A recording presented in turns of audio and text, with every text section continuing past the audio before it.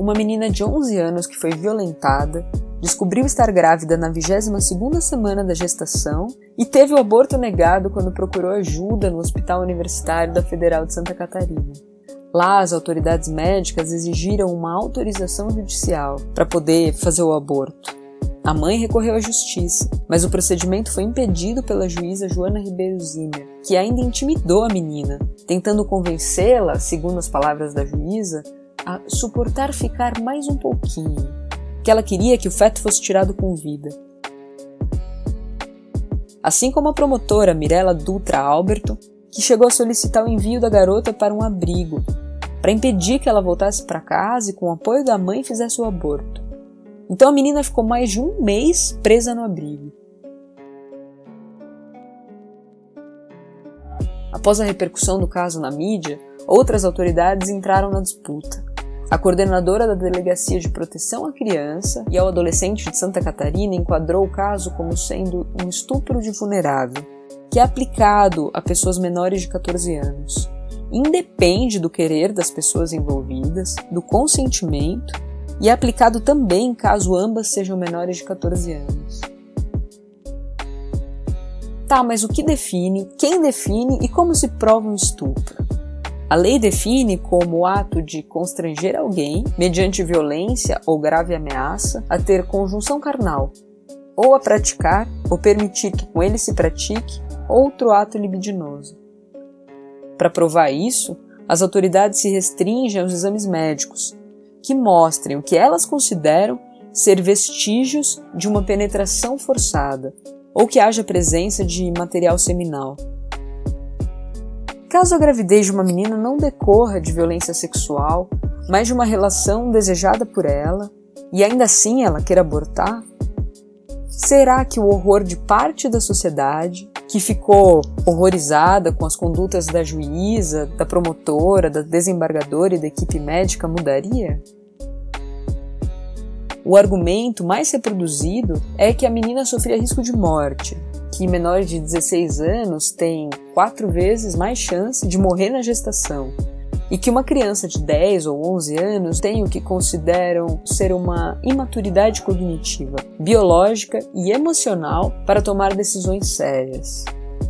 Então, outra vez se volta para o argumento científico, reforçando a autoridade médica sobre a decisão da garota acerca da sua própria vida, no vídeo que vazou junto com a reportagem que publicou essa história, a gente vê a imagem borrada da menina e uma grande imagem de Jesus pregado na cruz.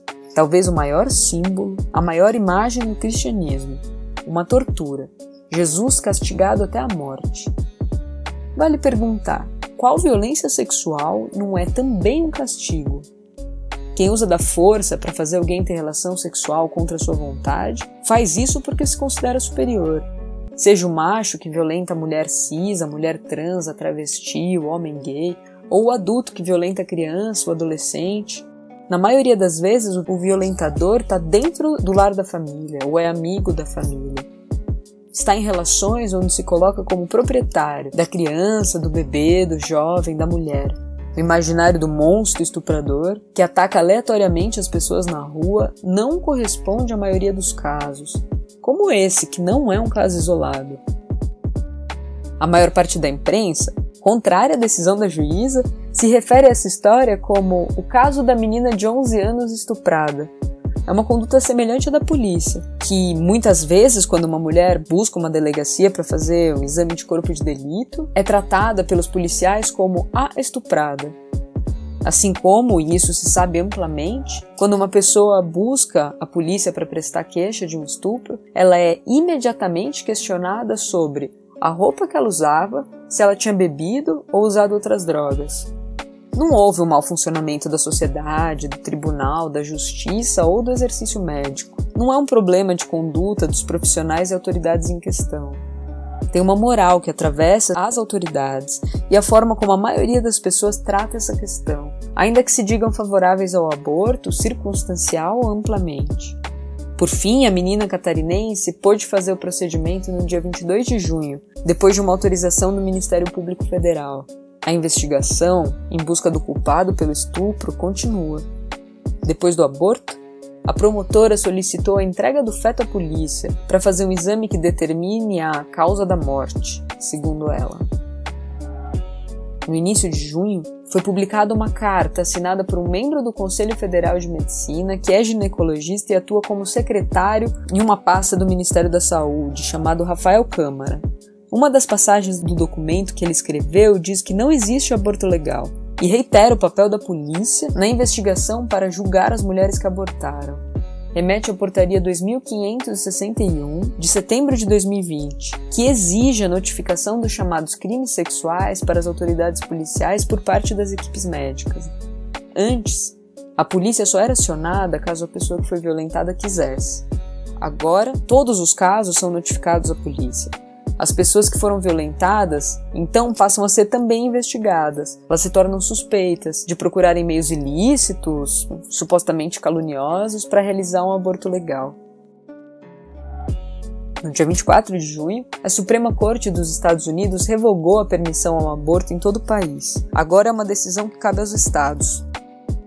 Desde o fim de maio, Ações diretas em igrejas e outras instituições anti-aborto foram realizadas em vários lugares daquele território. Continuam sendo. São reivindicadas, na maioria das vezes, por um grupo chamado Jane's Revenge. Mais ao sul, no México, no Chile, na Colômbia, na Argentina, as lutas pela descriminalização do aborto ou para que mantenha o aborto liberado são fortes e incessantes, e em muitos desses lugares a presença anarquista é pulsante. Agora, por aqui, no território dominado pelo Estado brasileiro, mesmo diante de violências terríveis como essa, quase tudo se reduz à indignação nas redes sociais e a clamores individuais por soluções institucionais. Tem uma crença nas instituições, na justiça, na política, na autoridade médica que parece esmagadora. Talvez menos indignação virtual e esperança nas autoridades possa fazer romper por aqui outras batalhas e avançar contra essas violências intermináveis praticadas contra meninas, meninos, menines, mulheres cis, trans, travestis e todo o diverso no âmbito dos gêneros e da sexualidade. Nós não somos um tribunal e não precisamos de justificativas que tornem um aborto aceitável moralmente ou legal juridicamente.